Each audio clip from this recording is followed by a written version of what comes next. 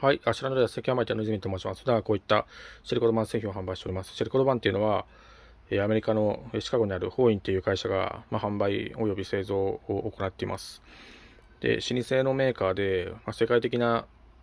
世界的に有名な革であるシェルコード版とか、まあ、クロムエクセルとか、かなり、えーと、質の高い革を、えー、ずっと作り続けていますね。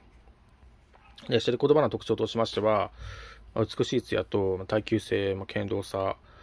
えー、っと、油がたくさん含まれてますんで、小さな傷がついても目立ちにくくなっていくのが特徴ですね。で、そのシェルコード板を使って、革製品を作っているのが、えー、っと、アシュランドレザーという会社ですね。で、アシュランドレザーの、えー、っと、創設者の方々が、えー、昼間はホーインという会社で働いていて、まあ、夜はまこういった、えー、シェルコード板製品を、まあ、販売、え、および製造を行っています。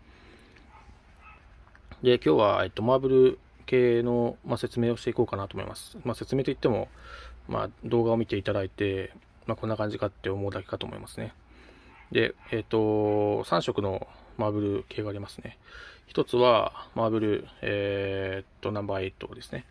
で、中央がマーブルブラック。こっちもマーブルブラックですね。で、右がマーブルバイオレット、バイオレットですね。で、この中で一番レアなのはマーブルバイオレットですね。マーブル、えナンバー8とマーブルブラックは、今でも、えっ、ー、と、ホーウィンに頼めば、え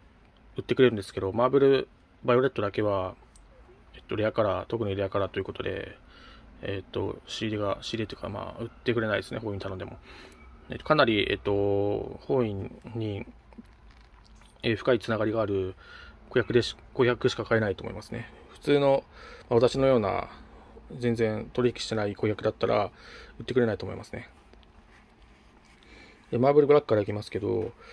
え、ー、と、色は、えー、すごく色ムラがある感じですね。ブルー、ブルーじゃない、グリーンとか、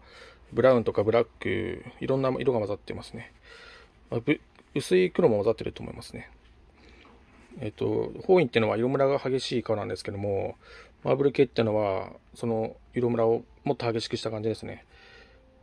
すごく美しいいろんな色が出てきて、私はかなりすごく好きですね。で、えっ、ー、と、法院のデメリットである色ムラをメリットに変えた、えー、製品ですね。かなり発想の転換というか、発想の転換というか、まあ、素晴らしいアイデアだと思いますね。で、マーブル、ブラックも本当に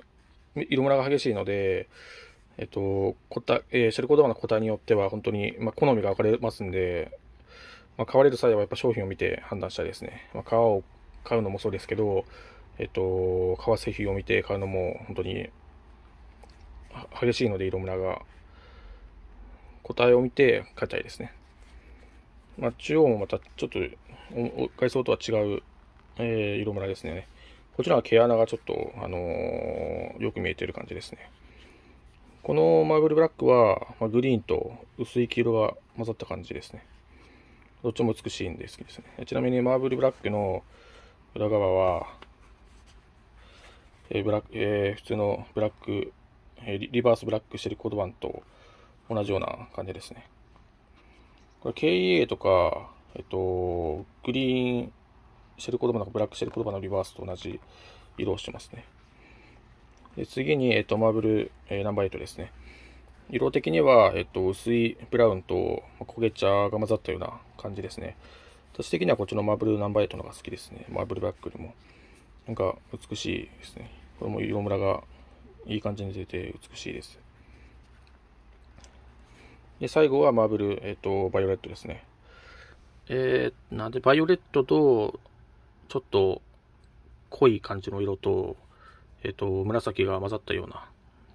感じの色ですね。もうちょっ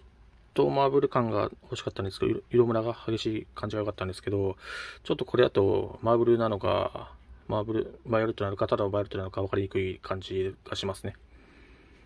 これも、えっと、美しい色ですね。まあ、こういった、えっと、革製品も、えっと、すごくシェルコード版全てできてますんで、高いんですけど、サウンドレザだったらかなり安く作ってもらえるので、シェルコード版好きにはたまらないかと思いますね。私はこれ4万で、あのー、まあ、販売しました。かなり美しいですね。まあ、こういった、えっ、と、革製品を普段はメリカリとかヤフオクとか、えベースとか、えっ、と、そういった、えっ、と、フリマサイトで販売してますんで、えご質問などがありましたらお問い合わせいただければと思います。えこれは、えっ、と、別注ですね。私が、えっ、と、アシュラムレザーに頼んで特別に作ってもらったものですね。まあ、ダンオーダーは以前やってたんですけど、今は、えっ、と、シェルコード版の、まあ、生産が追いついてないということで、一旦中止してますね。2月とか1月にまた再開するって、アシュラムレザーからメールいただいてますので、まあ、えっと、まあ、気になるような方がいらっしゃいましたら、まあ、何でもご質問いただければと思います。